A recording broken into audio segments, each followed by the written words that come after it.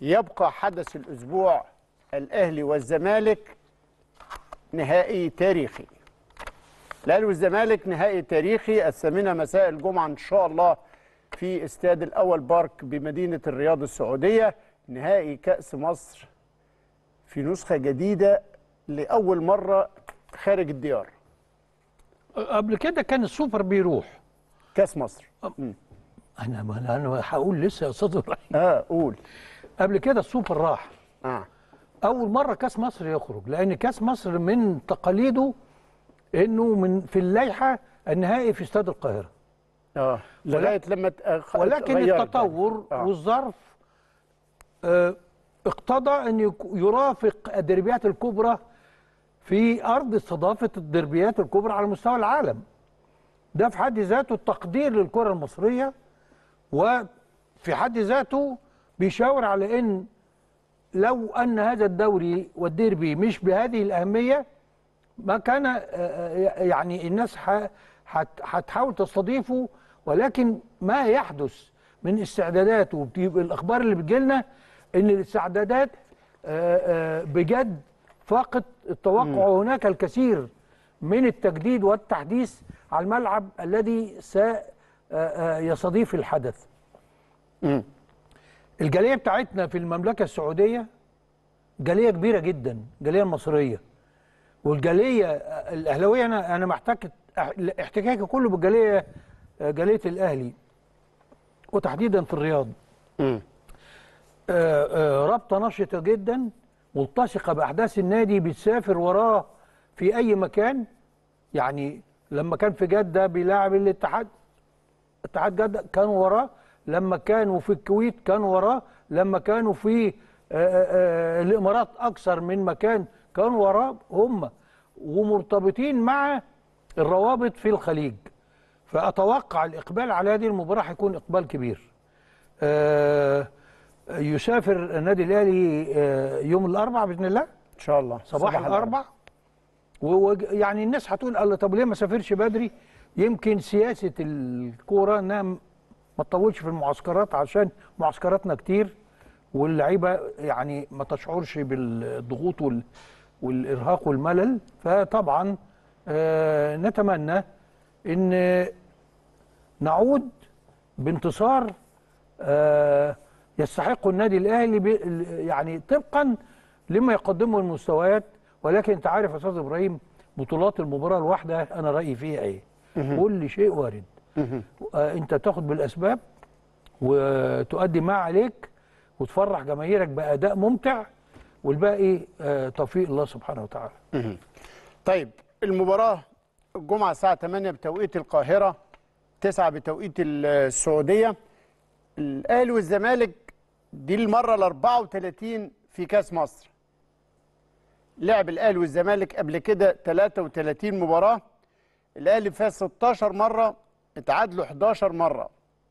وتعادلوا فاز الزمالك 11 مرة قصدي الأهلي فاز 16 والزمالك فاز 11 وتعادلوا ست مرات. وعيدت المباريات باستثناء مباراة 58 في النهائي اقتسم الفريقان الكاس كل فريق ست شهور. ده 58 من أغرب النهائيات. اتعادل ماتش ثلاث مرات. أيوه. ودايما ينتهي بالتعادل. التعادل التعادل. فما لهوش حل غير إن يعملوا كل فرقة تاخد ست شهور وقرعة مين يستلم الأول.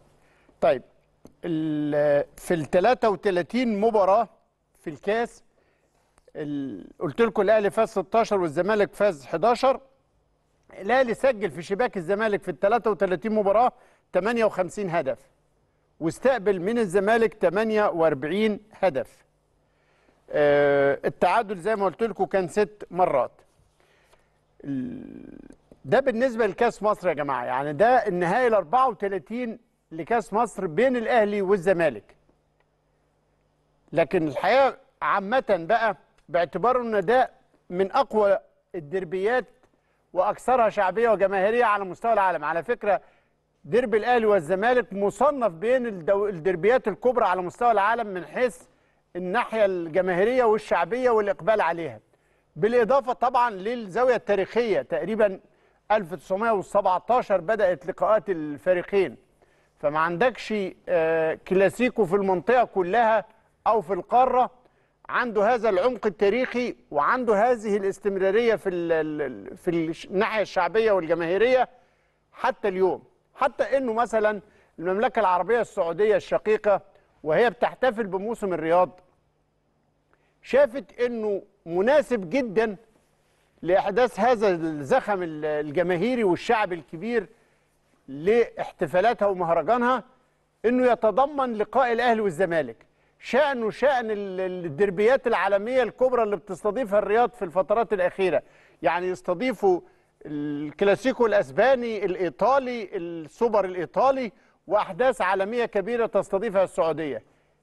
تضع الأهلي والزمالك في نفس المصاف مع هذه المناسبات الرياضية والكروية العالمية الكبيرة.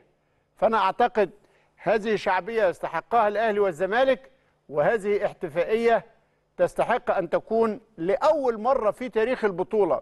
كأس مصر كان باستمرار لغاية 2014 اللائحة بتنص على وجوب إقامتها في استاد القاهرة لطبيعتها الخاصة.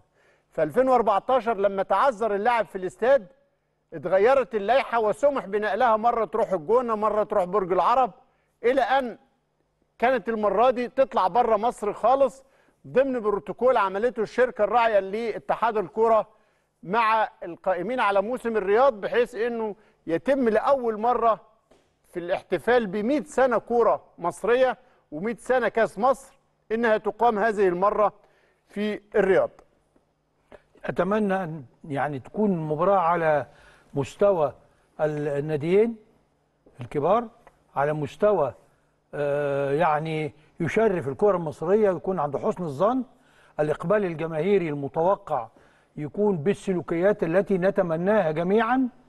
والحقيقة آه، يعني هي زي ما انت قلت نقلة بتخلينا نشوف آه، الحدث ده في وسط آه، يعني آه، دوري النهارده الكرة السعودية بتستقطب الأحداث الكبرى على مستوى العالم والنجوم الكبار على مستوى العالم. الكرة المصرية لها مكان من خلال هذا اللقاء آه، في هذه الأحداث.